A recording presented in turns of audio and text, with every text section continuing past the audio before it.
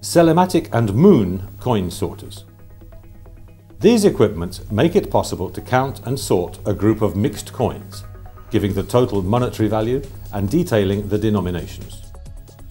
The Selematic model is a device designed in the 60s by engineer Giacomo Piccolo, founder of the Selex company, that has kept its position in the market up till today, thanks to its clever sorting system. Moon is the evolution of the Selematic towards a new design in which not only the size of the machine has been optimized, but also its speed and ease of use and maintenance. The coins introduced in the feed hopper flow through the control and counting system at a high speed, after which they pass onto the selection channels which place the coins in bags duly sorted according to their face value. Counterfeit or unrecognized coins are detected by the alloy control, which diverts them towards the reject exit.